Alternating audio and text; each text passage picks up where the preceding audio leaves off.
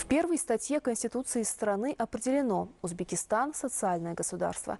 Реформы, направленные на обеспечение равных прав всех слоев населения, доступа к объектам социального значения, повышение качества жизни людей, нуждающихся в посторонней помощи, уже дают свои результаты.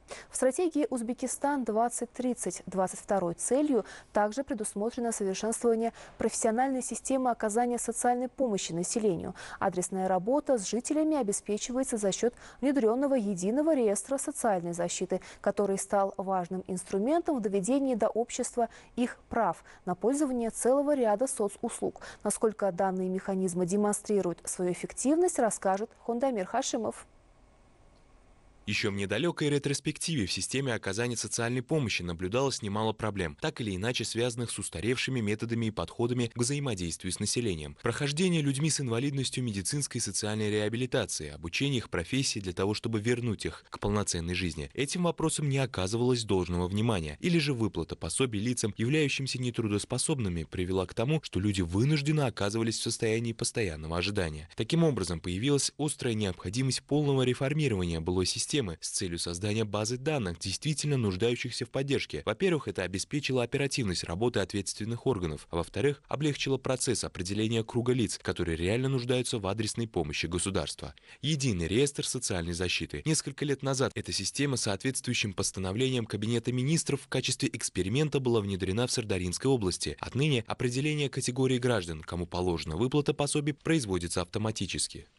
По защите уязвимых слоев населения обращаются в Махалю, то ли э, в центр Инсон. Документы принимаются. От них Махалинский комитет принимает заявку до 19 числа оформляет. В едином реестре проверяется за счет ведомств, министерств. Потом назначается выплаты пособия, если семья нуждается в помощи. Постановлением президента о дополнительных мерах по автоматизации процедур предоставления государственных социальных услуг и помощи населению на основе опыта Сардаринской области было решено распространить его и в других регионах республики. Так и началось внедрение совершенно нового механизма социальной защиты. Как отмечал руководитель страны, для того, чтобы пенсии и пособия назначались реально нуждающимся в них, Махалинская «семерка» вместе со специальной комиссией на основе данных и доказательств определяет эту категорию лиц. Если есть приусадебный участок, гражданин трудоспособный, то применяются соответствующие меры по обеспечению их занятости. В Касанском районе были 32 семьи, считающиеся малообеспеченными. После основания Махалинской семерки удалось снизить этот показатель вдвое. Есть и граждане, которые, будучи нуждающимися, не могли получить пособие. После проведения изучений этим соотечественникам, исходя из решения представителей Махали, определяется пособие. На следующем этапе единый реестр охватил оказание государством помощи социально уязвимым слоям населения, в том числе передача ребенка в детский сад, обеспечение необходимыми констоварами учащихся, получение медицинской помощи в учреждениях здравоохранения на бесплатной либо льготной основе, частичная или полная оплата первоначального взноса за ипотечный кредит. На сегодняшний день в рамках системы предоставляются выплаты по четырем критериям. Детское пособие малообеспеченным семьям, материальная помощь малообеспеченным семьям, пособие по беременности и родом из Фонда социального страхования, пакет первичной социально-материальной помощи. К примеру, если в первой половине 2020 года количество семей, которые получают различного рода пособия, равнялось 600 тысячам, то на данный момент оно выросло до полутора миллионов.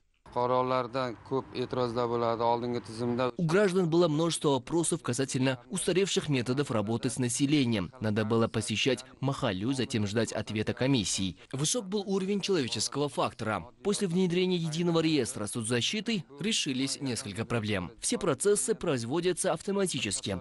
После отправки данных Махалю они оперативно передаются в другие ведомства. С января текущего года в системе Института Махали ведет деятельность социальный работник, который проводит подворовой обход. Тщательно изучая условия, он принимает заявления от граждан, после чего региональный филиал центра Инсон фиксирует его в едином реестре социальной защиты.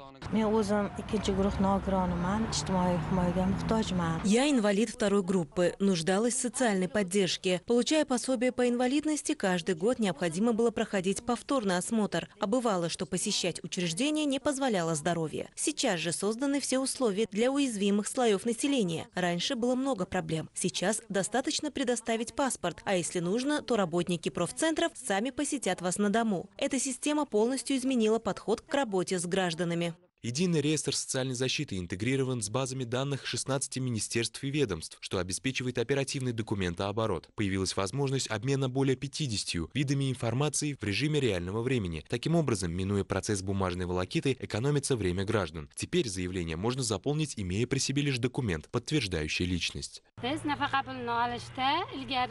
Раньше для получения пособий или пенсии мы заполняли целую кипу бумаг. Сейчас в режиме онлайн мы узнаем о том, принята наша заявка или нет. Еще совсем недавно для этого надо было постоянно обивать пороги ряда ведомств. Все выплаты происходят своевременно. После 15 числа каждого месяца деньги попадают на пластиковую карточку. Поддержка государства в такой форме становится одной из главных причин укрепления социального статуса в обществе многих семей. Помощь, причем в любых ее проявлениях, никогда не остается без внимания. За этим стоят благосостояние людей, качество их жизни и еще целый ряд сопутствующих факторов.